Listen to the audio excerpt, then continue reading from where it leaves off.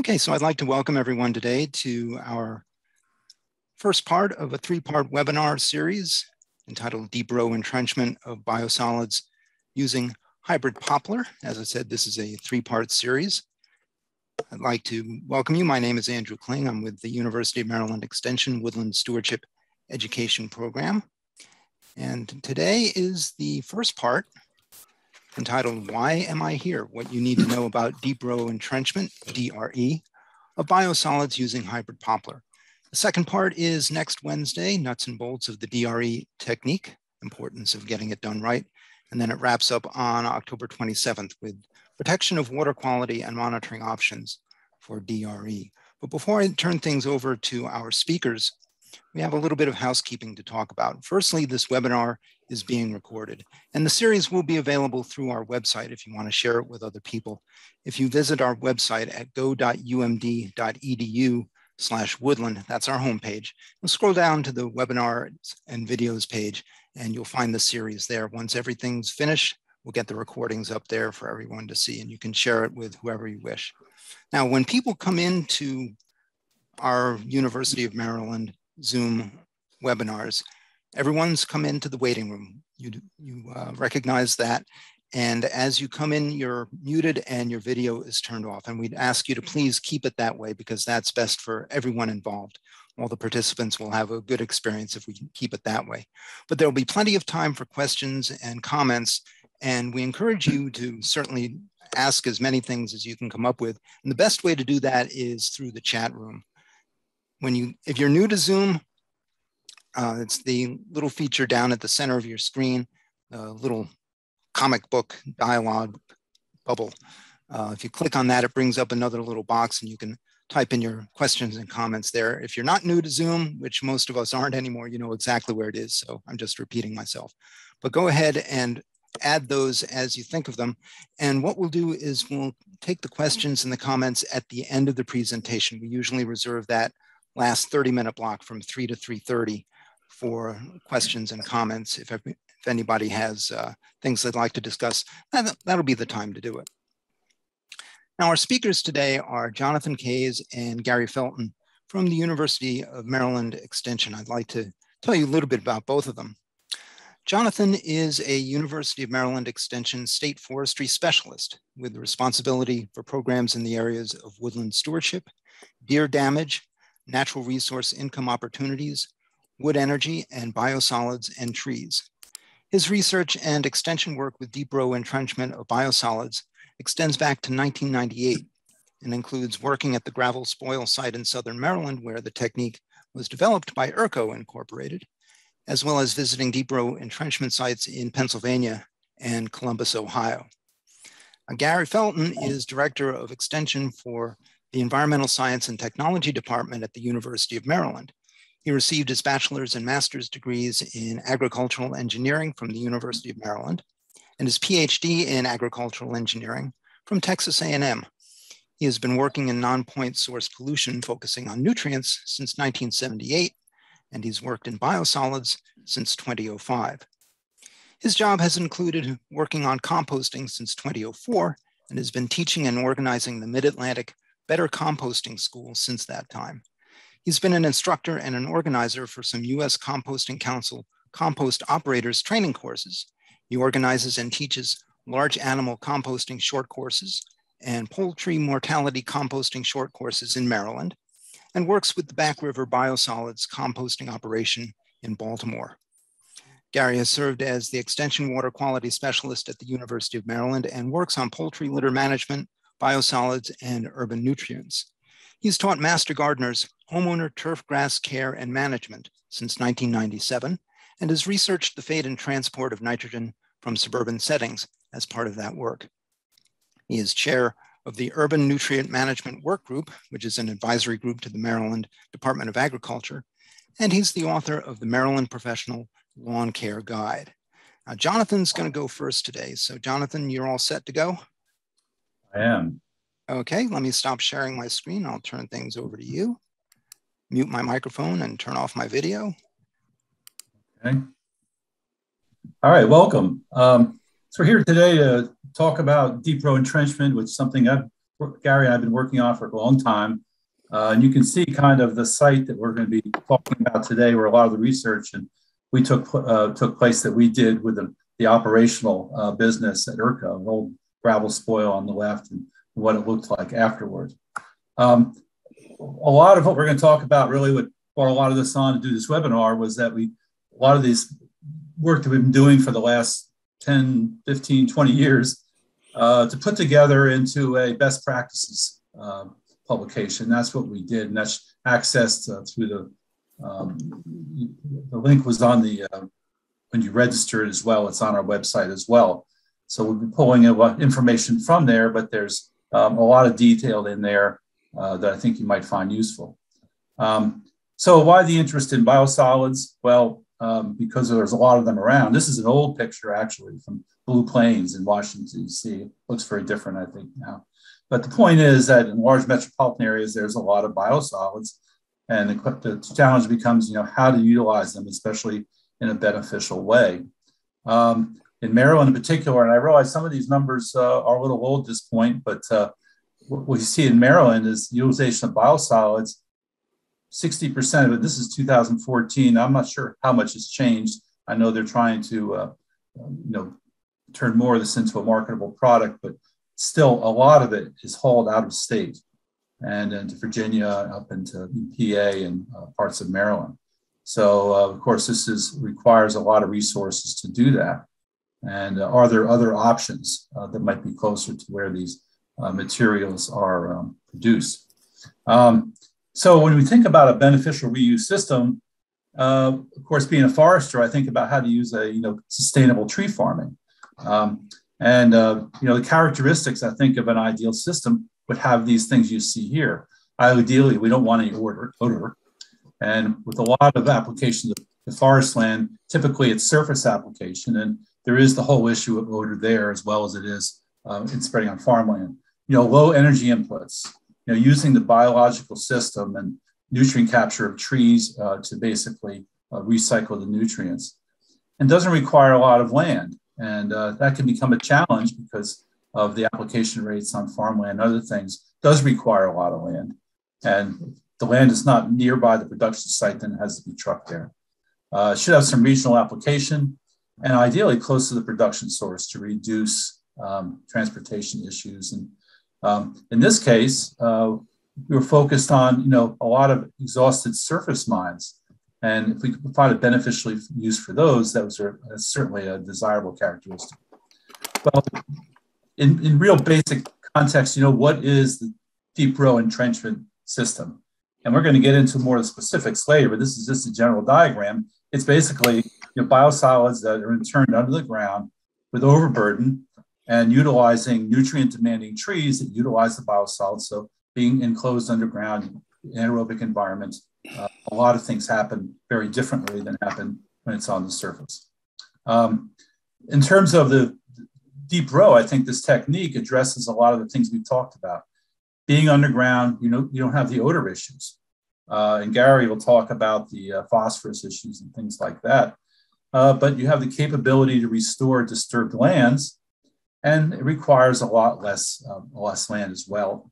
And the opportunity to produce wood and other environmental benefits like wildlife, especially on old surface mines where, uh, you know, basically, as a friend of mine said, uh, in many cases, a crow would have to bring a bag lunch, you know, to, to get across there. So um, those are those are real positives of this technique. The deep row application uh, technique was actually developed by ERCO Incorporated uh, in a very innovative way on a site down in Southern Maryland that you see here. I think you can see my, my cursor. It's just down not far from where I am right now, actually down Prince George's, Southern Prince George's County. And you can see that it's a six county metro area and there are a number of treatment plants that lie around here. So uh, that was the, that was the, uh, the location, very aptly placed.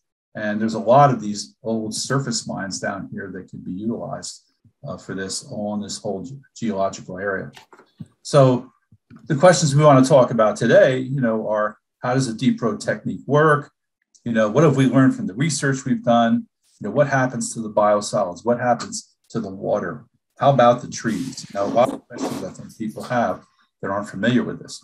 So um, at this point, I am going to um, switch over, uh, exit, stop sharing, and switch over to Gary and let him uh, take over uh, for the next part of the program, and then I'll come back when he's done. Um, I'm going to talk a little bit about uh, nutrient fate and transport, not in great detail, some odor. We're going to look at some of the properties of DRE and the benefits, and talk a little bit about the special case of coal mine reclamation, and then we'll introduce the project that we worked on.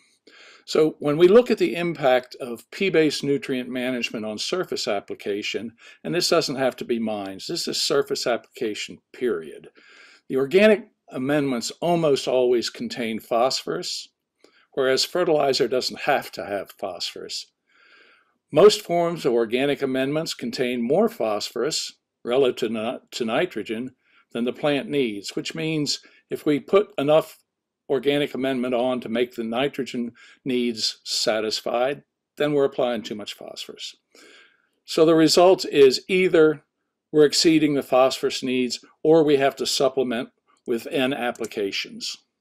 So when we do an N application in conventional some form of agriculture, we, we apply three to six tons per acre that doesn't seem like a lot. You know, three to six tons is a lot of weight, but when you spread it over an acre, it's not a whole lot. But if it's a P-based application, that might be as low as a half a ton per acre. So we have land application rates for agriculture. We have competition for available land for surface application.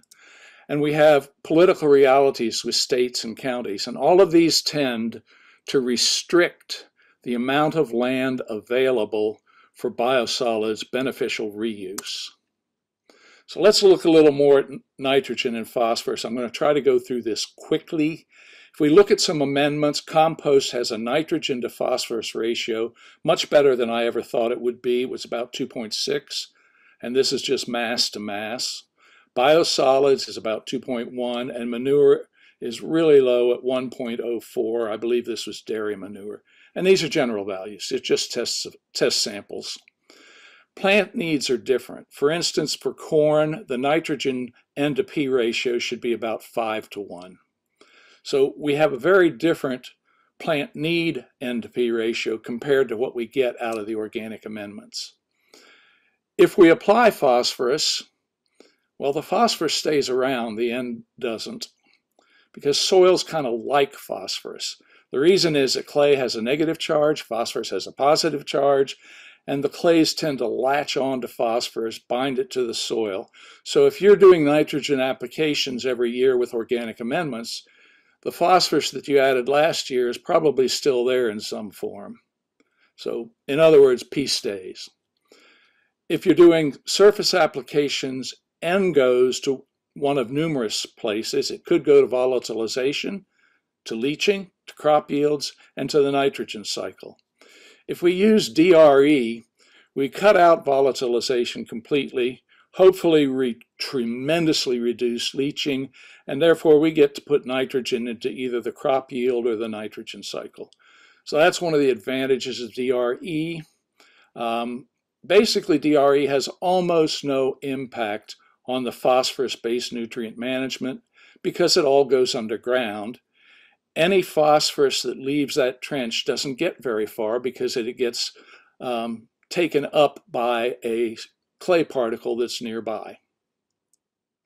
Oh, the other thing is the P content of the spoil that we're putting it in is really, really low. So there's lots of places for the phosphorus to attach. Moving on to odor problems, we kind of look at surface applications versus DRE. If any of you were driving up I-95 a few years ago and came close to Laurel, the odor problem from some surface applications was pretty obvious. Uh, there were traffic jams because it stunk so bad. People were just looking around everywhere instead of driving. Odor applications get places shut down really quick. The basic problem is that in almost all manures, hydrogen sulfide gets produced and that's that rotten egg smell. In DRE, the biosolids are buried within an hour of delivery and get a daily cover when the trench is not filled. So they're buried so quickly that the odor really doesn't get around. Okay, what is DRE, deep row application? It's that beneficial reuse system that gives us no odor, low energy, small land acreage, high application rate. That's kind of important with the amount of biosolids we have. It's close to the production sources. It can be reclaimed. It can be used to reclaim surface mine lands. There's an asterisk behind beside that because we got to talk a little bit about that. It can't always be used. There are some caveats. One of the caveats is broken rock coal spoil. Um, in broken rock coal spoil, we're going to have some leaching, and I'll talk about why in a minute. You have to ask yourself or somebody that's in a um, regulatory role, are the environmental improvements we're going to get and those are provided by DRE, is that a reasonable trade-off for some nitrogen leaching? Um, when the pH of the water is 2, that might seem like a reasonable trade-off. So what are our project goals? This is a project, not a research goal. These are project goals. We want to know if a product can be produced. We want to know what level of tipping fee is needed to be able to make DRE profitable. Can losses to the environment be minimized? Um, I never say that losses are eliminated. I always say minimized. Are there necessary spoil conditions to make DRE work? And if so, what are those? In other words, what do I need to look at to make sure I don't put it in a poor location? And another project goal is to educate state and local environmental professionals about the use of DRE, which is something we just might be trying to do today. Hello? There, we, uh, go back one. Specific research questions we would like to determine the effects of tree density and biosolids application rate on water quality around deep rows. So we have those two factors, tree density and biosolids application rate.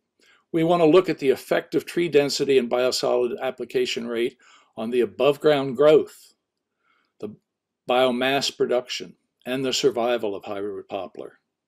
We want to look at the economic feasibility of DRE at different plant densities and application rates, as well as the value of the environmental benefits, which is kind of hard to quantify. And we want to quantify the fate of and transport of nitrogen and phosphorus. The research design is a randomized block design, three tree densities, three biosolids application rates. Picture is here, the details are here. I don't want to go over it, except that we have a lot of nitrogen going down. I put down normally about 150 to 200 pounds of nitrogen per acre for corn, and we're talking about 4,000 to 8,000 pounds of nitrogen per acre. That's a lot of nitrogen. And there's some reasons for that. Okay. what about the application rate for different tree densities? This is a three acre research site. So we've broken it down into a fairly small area, and we have trees at 0, 290, and 430 trees per acre. And we have application rates of 4, 8, and 12,000 uh, wet tons of biosolids per acre. The dry tons are over at the right-hand column.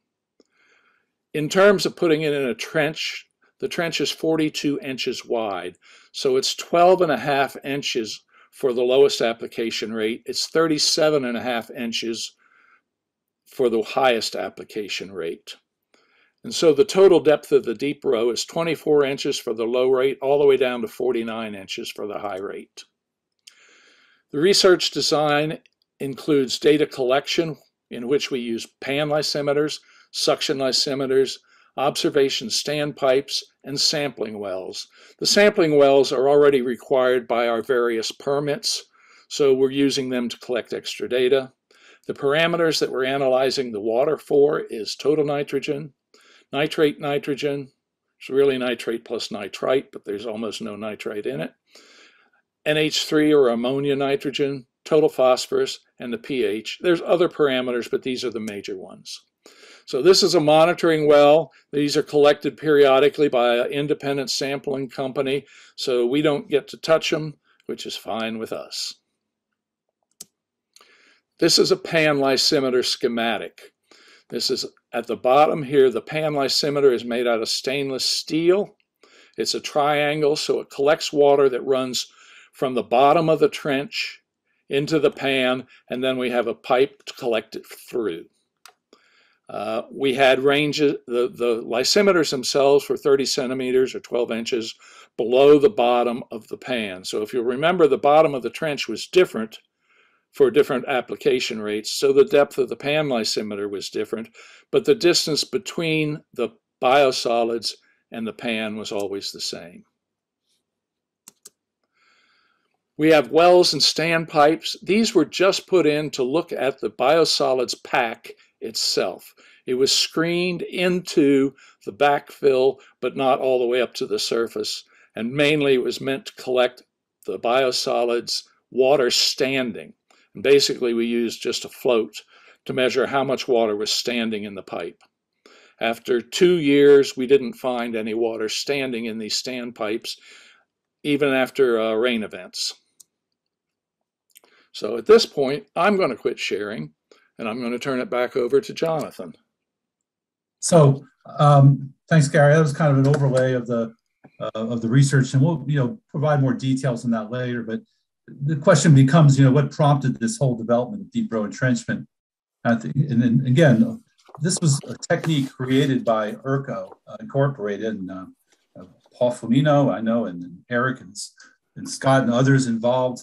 Um, basically came as a result, I think, of the Clean Water Act, where biosolids can no longer be put out in barges in the ocean.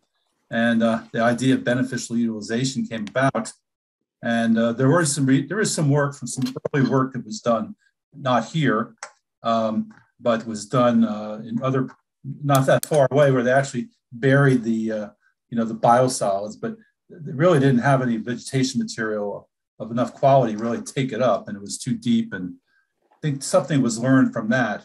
Uh, the need to make the, um, uh, the, the, the, trenches are basically shallow enough that they're within the rooting zone of the vegetation, in this case, the trees. So uh, again, I think it's, it's, important to mention that um, you know, ERCO created this technique uh, and innovated it. And the, and the whole site was a place for innovation. And we basically came in um, well after it was established. Um, this is the site itself. Uh, it was about uh, you know over 100 acres um, and 110 or 120 acres, but 10 uh, basically these 10 acre sections, and each of these were established on their own. Then they were went through a process and uh, uh, basically were treated as a standard unit. And you can see the seven monitoring wells are these little red things that are located around the edges. And you can see where our three acre research plot was, was essentially over here uh, just to give you an idea of, of, where it was located. So the point is, the important thing to mention is this, this was inserted into an existing operational farm. Uh, this was not a research site. We put a research site into an operational farm. And um, ERCO has uh, very made that possible. Uh, the, the, basic DRE process is this, bringing, bringing a, uh, putting a shallow wide trench. It was about 40 inches by 30 inches um, with a backhoe like this. Bringing in the biosolids on a truck. These are pretty much all lime stabilized early on when they did this, uh, which started in the uh, early 80s.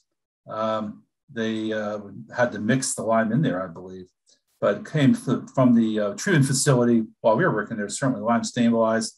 Right next to the trench, you can see it um, you know, volatilizing there and with a, um, a bulldozer then pushing it in and uh, covering it up. And so basically it goes, you know, there's no oxygen, it's not getting oxygen, it's, it's going totally anaerobic, um, which is what Gary said, there's no real uh, odors and uh, things like that. And of course, all the things that will happen uh, as a result. The, um, it looks kind of like this, kind of like a moonscape after it's all applied, because you do one row, then pile it up on top of the other, then you do next row and pile it up. And prior to planting in the spring, which is where all the planting is done, you can see the site is leveled. And um, as you see here, and trying to establish kind of a equal overburden that ranged from, oh, it just depended on the particular site, but trying to keep the overburden, um, you know, at, at, a certain certain level, and coming through after it was, you know, graded in the spring with a, uh, a tractor and setting up a grid, basically using a, uh, a ripper ripper bar, and going across the field such that where the rippers intersected at 10 foot intervals when we were doing it, uh, they, we basically planted a steckling like you see here, these cuttings, uh, such as they are. The trees, this was, uh, this was when they were planting a lot more trees per acre uh, than when we got, after we got involved, but six months and these trees uh, at six years, that's uh, actually uh, Eric Flamino who uh, ran the manager of the farm there. Um, and you can see uh, these trees are doing quite well and they're basically feeding off the, uh, the biosolids and actually the, the, ground where the trenches are start to sink as it utilizes the biosolids and the moisture. So you start to get a little bit more un, uneven ground again. Uh, parameters for reapplication as established in the initial research permit in the Maryland Department of Environment uh, in the early in the 80s um, basically took regular field samples of the biosolids and we take a sample. And once the deep rows showed about 70% mineralization of the biosolids, and the reason they're getting mineralized is because the tree roots are utilizing uh, the biosolids, then the site can be reapplied as well as the, the foliar leaf samples show uh, less than 3.5% nitrogen. Uh, and the poplars, of course, can go a lot higher than that, but felt when it gets, they felt that once it gets down to that level, um, the trees are starting to need more nitrogen, basically. They're getting a little bit more starved. So um, those are the two parameters for reapplication. And when that was met, uh, the site was harvested and the stumps removed. Uh, the site was graded and would be reapplied perpendicular to the existing uh, network of, of trenches. Um, and we'll get into the, uh, the aspect of um, uh, how the material is utilized, but in many cases, um, it was used for um, chips and things like that. These trees, in many cases, did not get that big. Um, so question is, you know, why did University of Maryland get involved in this? Um, and these pictures are actually from the very early days uh, prior to when we were involved when they were starting. And well, there was a lot of concern. Actually, they won, uh, won a number of awards from the local soil conservation. Um, and things like that. But there was still a lot of concern about the high application rates and um, whether there was leaching into the, in the ground table, even though none, none, of the water quality assessments showed that. There was also a lack of understanding of nutrient dynamics with biosolids in trees. I, I think a lot of folks, um, you know, who were involved with the regulatory side didn't really understand how trees utilize uh, and, and, grow, uh, utilize the material. So that, um, along with a couple other things, university was brought in that early 90s. I came in a little bit later than that, in the late 90s, um, to try and you know come up with a project that could actually verify and uh, substantiate that the, there wasn't a lot of leaching. I think water quality was definitely the main concern that brought this on. So uh, some of the changes that were made once I started came into the project, and Gary as well, about 1998, uh, was to reduce the density of trees. Initially, they were planting trees like uh, 2,722 trees per acre. And as a forester, I realized that by planting fewer trees, and from what I've read, you're going to basically get very similar amount of um, uh, get same same uptake. The biomass is going to be put in fewer trees, and that's more desirable because then you get trees that are going to be a larger size and they can be more easily utilized and harvested for products of another kind a number of different kinds. So that's where um, uh, that's where that came from. The other change that was made initially using a clone called HP 308. Uh, we did a clonal study, which I'll talk about one of the other um, one of the other uh, later webinars. But we found there was a lot of problems with the HP 308, especially with canker uh, on the trees and uh, basically caused a lot of damage and the tops would break. But we found OP367 to be a much better clone, much grew much faster, and we really didn't have much problems with uh, insects and disease um, with the leaf beetle either, common leaf beetle. So uh, that worked out quite well, and I think a lot of other places are using it as well. Uh, so the question is, why use hybrid poplar? You know, with this with this focus on you know um, native species, why aren't we using a native species? You know, well, the fact is that most native species really just don't take up that much nitrogen. You know, thing like many of your pines, uh, like loblolly pine and other things, they can exist on you know 20 pounds of nitrogen, take up you know, 20 pounds of nitrogen per acre uh, per year, and um, uh, you know, even your better, higher quality hardwoods like walnut and poplar, you know, 100, 150, somewhere in there. So we're talking about hybrid poplar, which are, you know, um, basically uh, you know, clones and combinations of, of different cottonwood species, uh, capable of uptake of 200 to 360 pounds of nitrogen per acre. And certainly been involved with others doing this that indicate the uptake could be even more. It's, it's kind of like an open faucet. You know, it can just uses a lot of nitrogen, takes up a lot of water, and it can take up a lot of nitrogen in that water. Uh, there's also high root turnover, about 30 days or so, that sequesters a lot of carbon. Uh, and uh, different clonal varieties from crosses of, of native species. And uh, I think I hear someone in the background uh, clicking and stuff. I'm not sure uh, where that's coming from. So maybe everybody could mute their um, mute their microphone. So different clonal varieties, and that's why we did a clonal trial. Actually, one of the recommendations is, you know, you should be doing that. Make sure that's the best one for the site. Uh, the poplar itself is a proven one for pulp. Pacific Northwest has been working with a hybrid poplar for years and um, capable of producing larger diameter trees as well. So again, a lot of what we were able to implement on the site was implemented and was the reason for the initial choice of hybrid poplar, I would, I would think, was because of all the silvicultural systems that's been used on in British Columbia and Seattle. Uh, Seattle and Tacoma uh, land apply most of their biosolids in native um, forest out east of Seattle um, on the surface. So uh, there was a lot to learn from, and uh, as well as uh, with mine reclamation, and there are a number of companies out there that do that. Uh, Silvis out of British Columbia was extremely helpful in what we did and learned a lot from the practices they've used up in, um, in British Columbia. So a couple of the conclusions that came out of the study, we'll you know, go into more detail on these later. Um, but you know, for the basically for the first three years, uh, pretty much zero nitrate left in deep row tree system. Uh, now, there was a, lot of ammonia that came that was immediately released into the soil nearby the biosolids, but those concentrations themselves uh, decreased dramatically as you got away from the biosolids trench. Uh, as you can see, falling here from 21 milligrams of nitrogen per liter at six inches or 15 centimeters to you know 400 at 60 centimeters.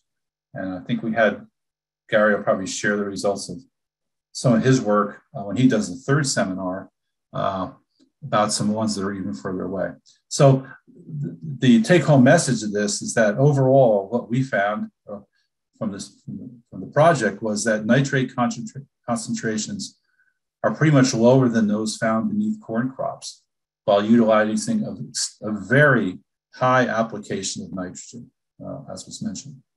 So I think it, it proved that basically this technique worked and uh, there wasn't serious water quality implications, at least on the sites that we were working on, which were old, old gravel, old gravel spoils. Um, uh, in terms of the, um, uh, the, the, biomass side of it, the tree side of it, uh, we had some real issues there. And what we had is that whole site around the area around there was being developed as we were doing this work. And we had a lot of deer browsing. When they first started this project in the 80s, um, this business, uh, they didn't have the deer populations. Uh, but what we found is that deer browsing was extremely heavy. They were browsing off the tops of these. Um, also, um, the site preparation I mentioned with the, um, um, the ripper, which was done on the operational sites, could not be done on the research sites because of all the instrumentation that was being put in. So that was a real, a real issue. You didn't get the soil broken up. And we just uh, also had, on top of that, drought. So uh, the result of this is that you look at this table, it shows you that the, the operational area of the tree farm that you see here, um, and 1999 to 2005, this is, you know, where they've been operating before. These were trees that were planted, um, you know, back in the uh, early 90s in many cases, uh, a little bit later. Um, had a dry biomass content of 14.9, height of 8, 8.4 meters. Um, but when we looked at our research plots, we just had large areas that were devoid, the trees all died.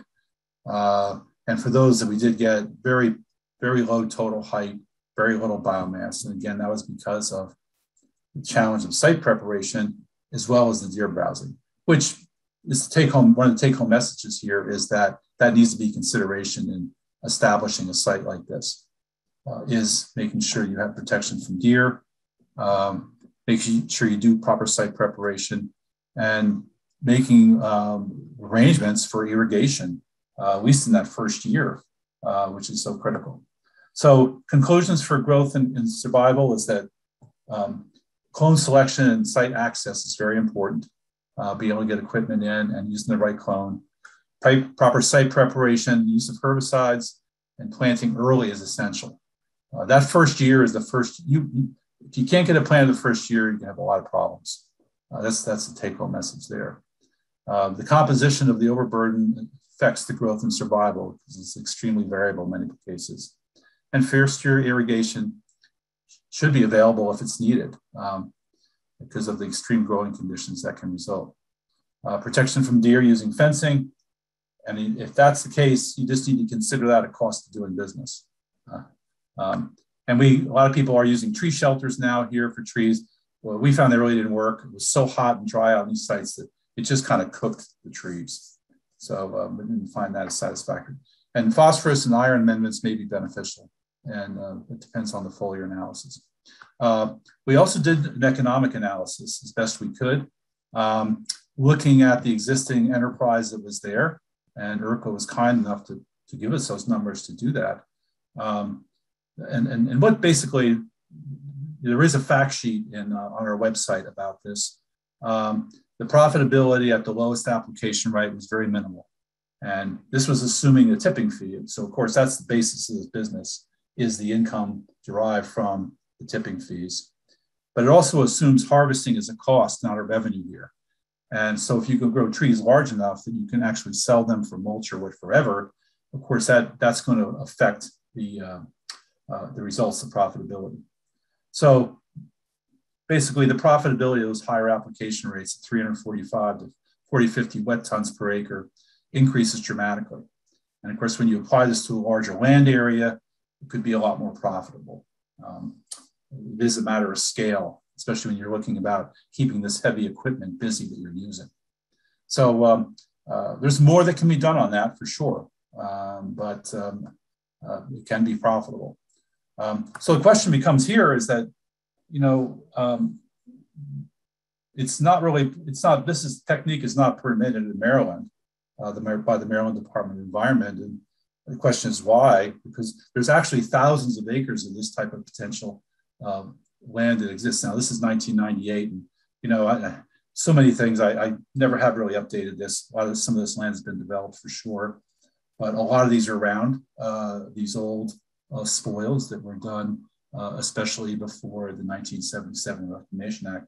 So why not? And uh, all I can say is that uh, we, we provide the, this research. We worked with the Maryland Department of Environment, and uh, for whatever reasons, they were unwilling to accept uh, the conclusions we had, and um, um uh, which would have made the, the, the enterprise uh, more possible for uh, for the company at the site. And the site has been closed down. They made a business decision on that.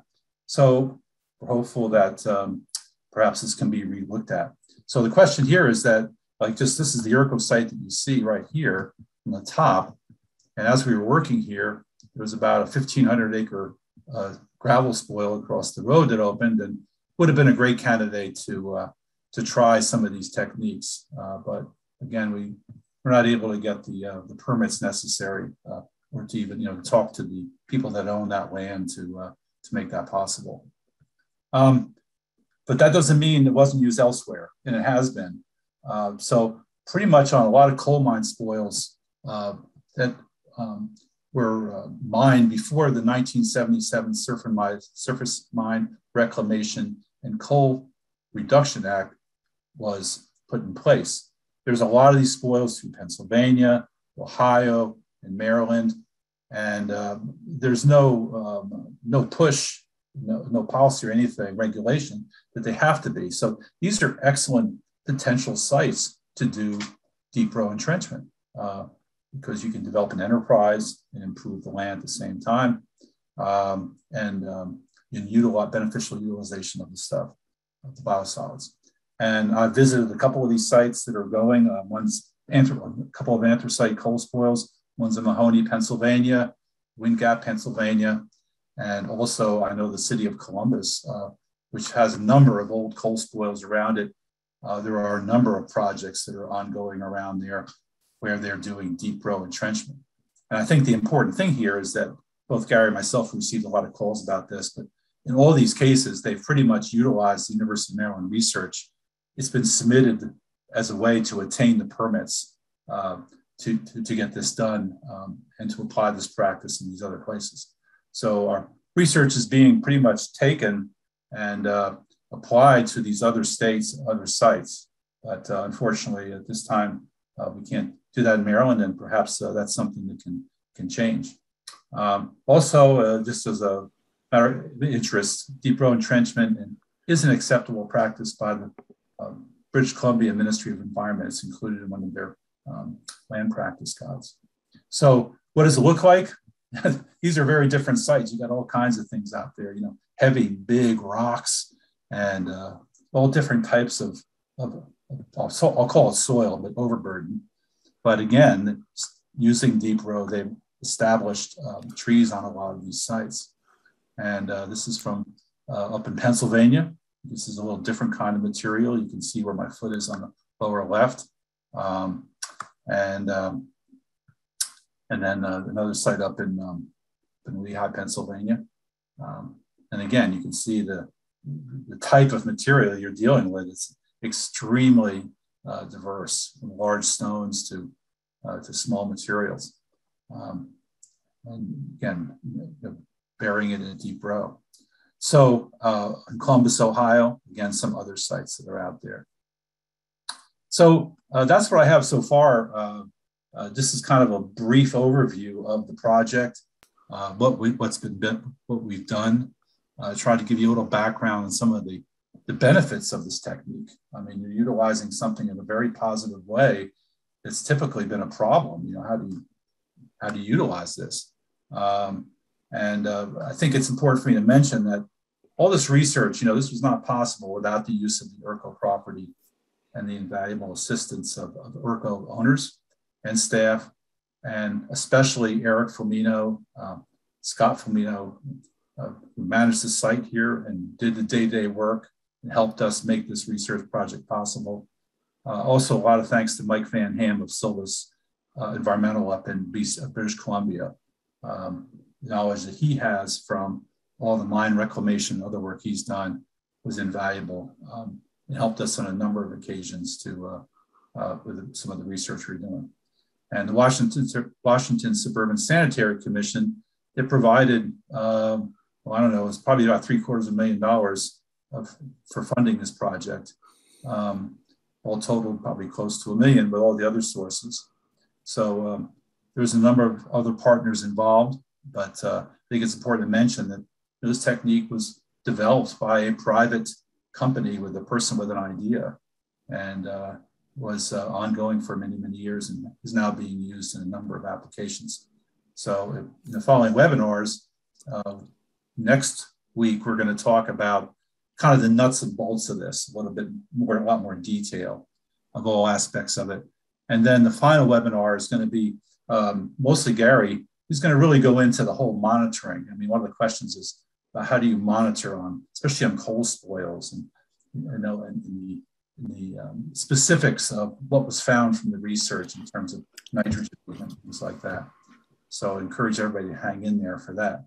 So at that, I will um, ask um, Andrew uh, to see if we have any questions.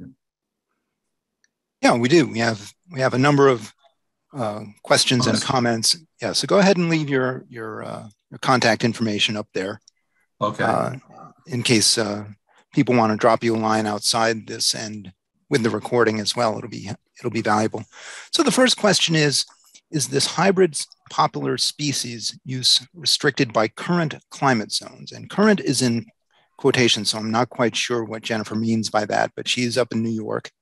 Uh, so maybe she's thinking about uh, with the potential for climate change. Um, yeah, so I mean, there are a lot of different clones of hybrid poplar that have been developed. Okay, and some of them definitely perform better in colder, colder climates and warmer climates. And I think you just would need to look uh, to so many plantings that may be in your area or there's but there's a vast body of research on on it. And again, my recommendation is if you're going to use a site, is at least to do a is to look at doing a clonal uh, clonal trial with a number of different clones. And that was what one thing that Silvis uh, uh, Environmental helped us with is you know choosing some of those potential species and then trying them for a couple of years to see how they perform. But the answer is yes. They're, the, the, some of the hybrid poplars clones perform better in different climates than others. But hybrid poplars would perform in New York. Yes. Oh, yeah. Yeah. I mean, they're in Minnesota and, uh, um, you know, other areas. Yeah. Thank you. Uh, the next question is Is it only dewatered biosolids cake that can be used, or can liquid sludge be used? We have not tried to use liquid sludge. Um, handling issues would be probably something we could overcome. However, when you start putting water with nutrients in it into trenches, it makes regulators a little nervous. So I, I, think that might be something that would be, I wouldn't try it because it would cause concerns. Um, sludge is usually about 75% water, whereas um, the liquid material is usually about 95%. And the difference between that is the difference between water and jello. Thank you for that uh, that nice visual. It uh, answer, answers a question for me. I, I, was wondering what the consistency was in that. Black, ugly jello. There's always room for jello. At least that's what they tell us. I don't know in this case. okay, the next the next uh, next thing is a is a, a comment actually. Larger slash longer native cottonwood cuttings or actual poles may be utilized or tried in the system. Planting and stock costs need to be considered. Yeah, so that's true. In fact, you know, I didn't mention this, but you know, hybrid poplar is used a lot in a lot of phytoremediation projects uh, where there's you know pollution from um, uh, you know petroleum things like that. And I've seen cases where it actually they'll you know, take them way down into the ground to get that, that root system down into the, uh, the deep depths because the roots develop this kind of architectural system that kind of go down very, very deep and uh, will suck up. They use so much water that, so if there's contaminants down in the water table, by actually sucking up all that water, it'll actually um, you know, tie up all that material in the biomass. So it's, it's a common species for phytoremediation. Now, there's also a lot of folks in cuttings or stecklings, as they're called, can get very expensive. And in fact, the person who was doing this uh, uh, on a large basis could develop like a um, uh, you know place and develop just their own um, uh, grow some trees for cuttings, specifically for cuttings, and uh, just let them grow out and just cut their own own material every year from new sprouts that come out from the stems, uh, and that would definitely be, uh, be profitable because the way a lot of planting was done before, and this was uh, ERCO had done it, had purchased the, the cuttings from a place quite far away and they had to be overnighted. So there was a lot of high cost in, in the shipping. And then, of course, they had to be put in right away. So if you have the option to have kind of a, uh, a seeding area or a clonal area where you can produce your own, that could definitely be a part of this whole whole system and save considerable amount of money. It would be worth an experiment to see what survival was on, you know, 12 inch stecklings, 24 inch stecklings, and 48 inch stecklings. So if someone was going to do this commercially, that might be something you want to look at. And again, if it would depend whether you're paying for those or you're producing them yourselves, I think. Because I know they can get quite costly. And again, you want the right clone. So, you know, once you have a clone, you can reproduce it easily vegetatively. Thank you. Uh, the next question is Is there any reason why poultry waste DAF sludge or anaerobic, anaerobic digester digested can't also be used similarly? Um, the DAF is kind of a jello type of sludge, not quite. It's basically it's flotation material, and that's what the F is for. It would probably adapt quite well. It would be, have a lot of similar characteristics to our dewatered biosolids. The anaerobic digester digestate is pretty liquid. I wouldn't mind trying it. I certainly think it would be pretty good, but I don't know if it would have a high enough nutrient content to do the trees a lot of good. It might simply be another way to add water. Uh, it would be worth looking into.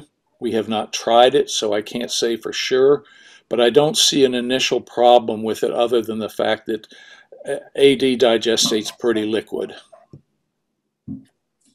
I, I do know that uh, Gary went over at ERCO that looked at the possibility of trying to use poultry litter as kind of a surface uh, amendment because a lot of those trees were struggling with, you know, after a while for nitrogen and phosphorus, especially phosphorus.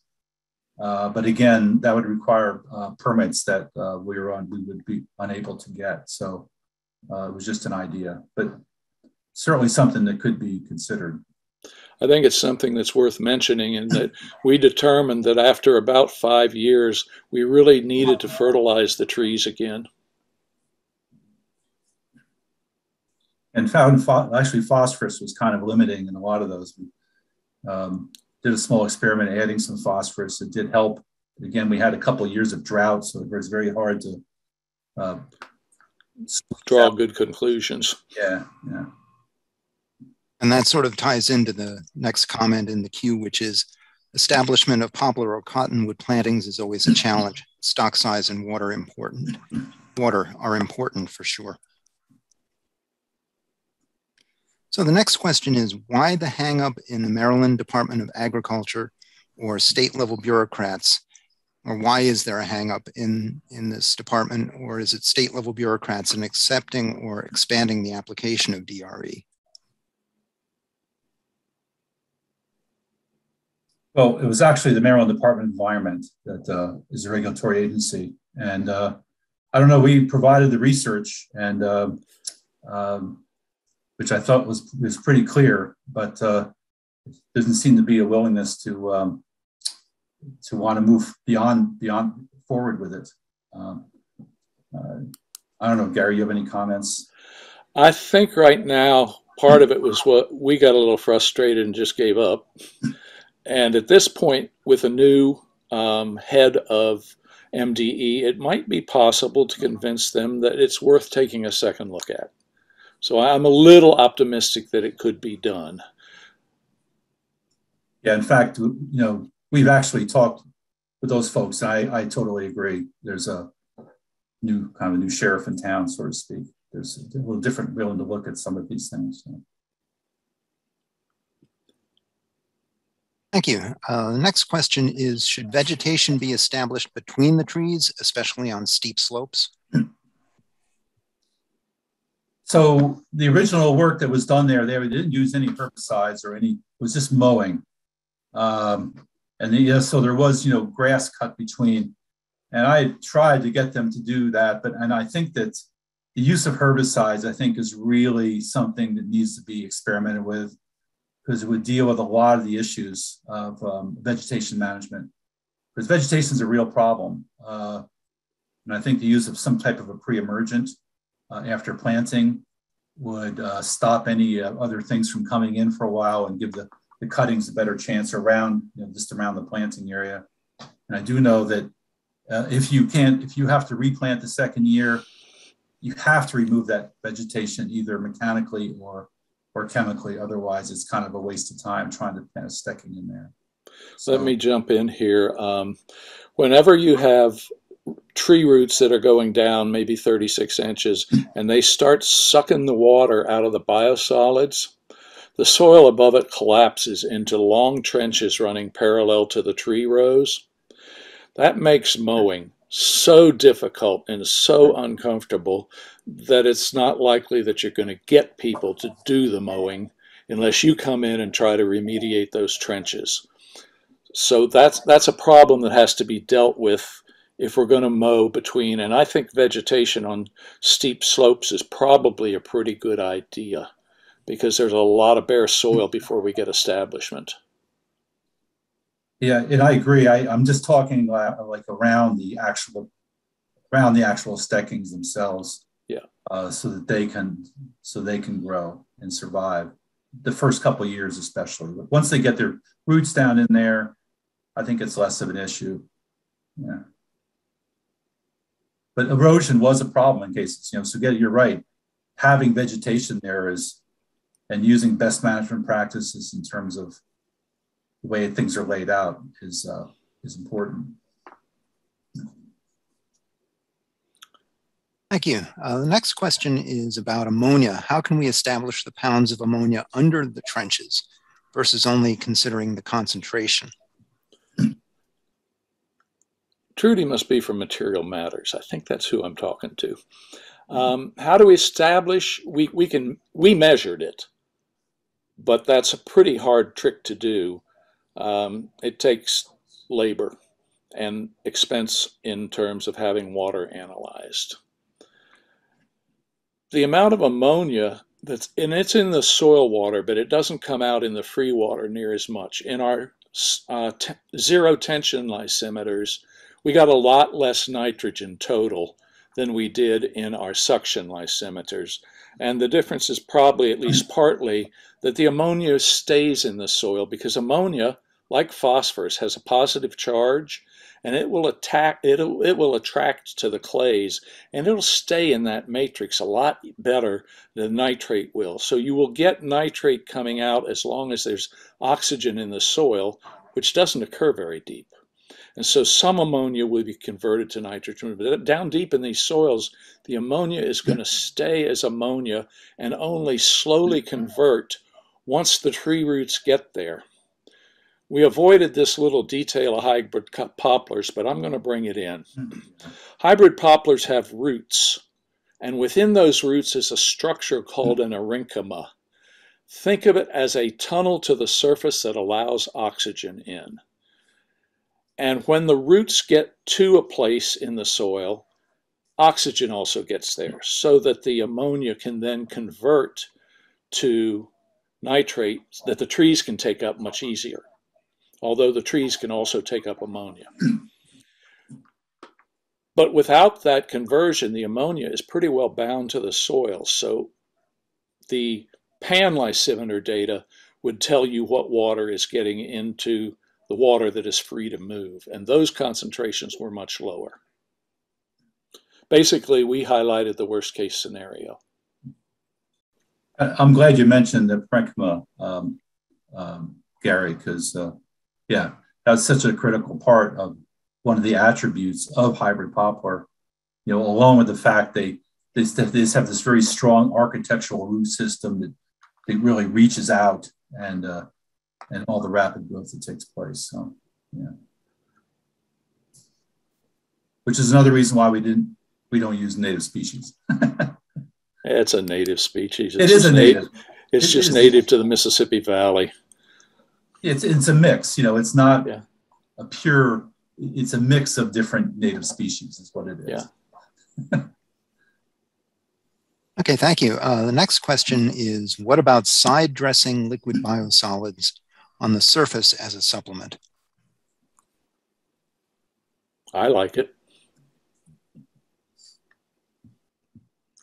Uh, permitting would be the issue because you're putting on more nitrogen, but obviously the trees need it after the next after the first four or five years. And you might want to grow trees out to perhaps 12 to 14 inches DBH. You're going to need to add extra nutrients because there's not enough left in the biosolids after five or six years to do any good for the trees. So some sort of supplemental nutrient is necessary. Liquid biosolid waste would be good to me, digestate of any sort. Yeah, you know, I didn't really mention this, but most of these plant plantings lasted about six to eight years before they just ran out of juice. you know, those minimum qualifications for foliar and uh, mineralization in the in the biosolids pack, and were basically uh, you know harvested in, in the places we applied. So you're right. You know, anything that could be done to extend the rotation, so to speak, uh, would make sense. But then that, this is the permitting issue um, at that point. Okay, we have a two-part question having to do with regulators and and uh, water quality. Why do regulators focus on NH3N concentrations under the trenches and compare to drinking water standards of 10 milligrams per liter? Do you consider an NH3N concentration greater than 10 milligrams per liter in lysimeter water under the trenches to be a problem? I'm going to have to answer that question in a couple of parts.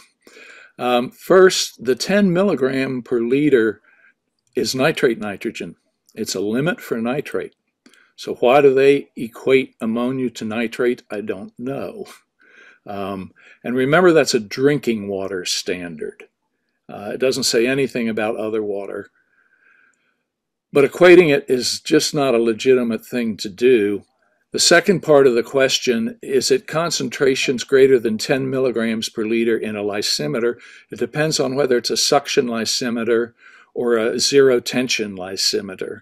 If it's greater than 10 milligrams per liter of just nitrogen, let's just call it nitrogen, in a pan lysimeter, a zero tension lysimeter, then I'm saying there's nitrate get, nitrogen getting away that probably shouldn't.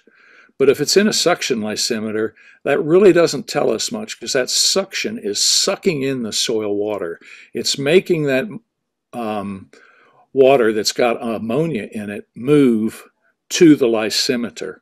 So it's pulling a sample that the water would not normally move to a sampling point. So it's telling you what's in the soil matrix. That's not a great answer for the question, but that's the best answer I've got.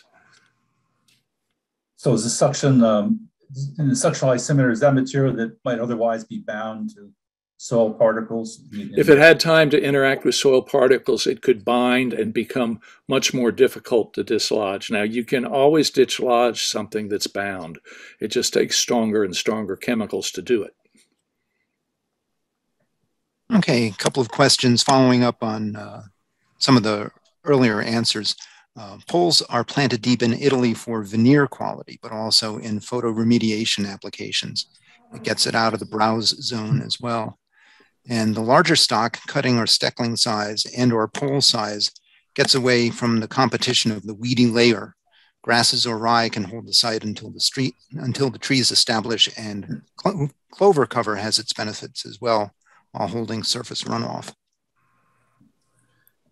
Yeah, I, I think, as I recall, Mr. May, I, I think may have been a producer of. So he, uh, he is, yes. So he has a lot of experience and again, you know, a lot of this is a matter of cost and uh, what can be sold. Right now, I know the Pacific Northwest, you know, they've tried to develop a market, you know, uh, you know, for larger diamond material. As far as I understand, it hasn't been real successful. So, you know, before you're going to invest in those kind of things, uh, you know, for any forest product, you need a lot of it to make it have marketable. And at least where we are, there's a lot of other things that are veneer quality that are more desirable. Um, so yeah, it's a matter just of cost and investment, I think. But uh, that's a that's an interesting comment. Yeah. I'm going to put an aside on that to the economics. In part of our economic analysis, we determined that it would have taken approximately a thousand acres of this land to make a good economic return on the process that we were using. Um, we had 100 acres, and a thousand would have been required in order to get, you know, get rich, like we'll get rich growing trees. You know how you get rich buying, you know how you get rich growing trees, don't you? Is you buy land with big trees on it. it's an old forestry joke. Anyway, go ahead. okay, we have a couple of people who uh, thank you for the for the series. One of said, "I'm hopeful we'll see more of this in in her region." And uh, Mr. McMahon comments that six to eight years is a half rotation for pulp in Minnesota, but a coppice slash resprout system would need supplemental applications of nutrients to sustain the site and tree growth. Absolutely. He says, I worked with a paper pulp company with nearly 30,000 acres. Yes, economics go in. Uh, economics go in moving the work forward always. Yeah. I think that's real important. You know, we we did make an attempt to look at that uh, in the economics because you know you have that. Also you have that a lot of heavy equipment that it needs to be moving all the time. So, so you need a land base to make that make that possible. But you know, the other side of that is there's a lot of this type. We the land we worked on. There's still a lot of this land up around, um, and there's still a lot of biosolids produced in this area that are trucked elsewhere. Good question. Yeah, that's a great question. Okay, we have one more uh, that uh, talks about the, the harvesting question. How much effort and cost is associated with harvesting poplars? Is there a significant amount of labor involved? So I, I, think originally they basically the trees were small because they planted so many of them and they just mulched them up and spread them across the site. Uh, but then as part of the permit, the, the, thing is that the trees had to be removed from the site. I guess because it you know, enter into nutrient dynamics. So when we were using a 10 by 10 spacing, uh, the trees were large enough, but really they were just they just had an automatic harvester coming through and they were just um, chipping them up and selling them as mulch uh, pretty much on a, a, a you know a, a, uh, you know an even basis. Uh, but even that was good because prior to that they were actually paying to have the trees harvested uh, when they were a much smaller size. So at least in this case, at least this was the site we were working. Uh, there was someone taking the trees off site and mulching for mulching purposes so it wasn't it wasn't costing them anything. Uh, it wasn't a, it wasn't a cost. And again, that an economic analysis that we did assumed that it was a cost. So there would be a save, you know, as that enters into the enterprise. But and again, if you look at that publication, uh, you know, has the enterprise budget and it separates out a lot of the costs and things like that. There's a lot of detail in there. The amount of effort involved in the harvesting is surprisingly low there's not a lot of people there. Um, there's an operator, and then there's some other person there, and I don't figure out, I never figured out what that other person was doing. But that's only a two person crew to do the cutting. Uh, they had a um, tub grinder they brought in to grind up some of it. And again, it was the same operator and someone else standing around, I guess, probably operating the tub grinder. But it's just two people and a bunch of equipment. Okay, one other question. Can you comment on the monitoring requirements by Ohio EPA associated with the Ohio Mulch Project in Ohio? Uh, not not really. I just I just know that the I really don't know. I know there's they're they're, they're all I know is they're looking at it, deciding how. I'm not. Yeah, I'm not sure there are requirements yet. They're trying to form them because we have been asked to give our opinions on some various types of requirements. Um, so they may not have set their requirements in stone yet. But they, they do want to know about how much nitrogen is leaving. I will I know I do know that. So I think it'd be worthwhile to make sure attend the third seminar when Gary really uh, gets into that and the whole monitoring issue from his expertise. As someone that's worked on a, a whole range of uh, coal spoils from Kentucky to Maryland to Pennsylvania, wherever. West Virginia, too. No, that's just where my family home is, and we know a few coal coal truckers there anyway. Okay, that is the last question in the queue. So Jonathan, if you'll go ahead and stop sharing your screen, I've got one more thing to talk about before we let everybody go. Go ahead. Thank you. Uh, just a reminder that the series will continue next Wednesday, uh, same time, 2 to 3.30 p.m., thereabouts, Wednesday, October 20th. It's part two, nuts and bolts of the DRE technique, the importance of getting it done right. So we've got uh, a little bit of time left. We've got uh, time to give you, uh, go get some more coffee, take some extra time. We'll uh, let everybody go. So on behalf of Jonathan and Gary and myself, I'd like to thank you all for joining us and we look forward to the continuation of the series next week and enjoy the rest of your day.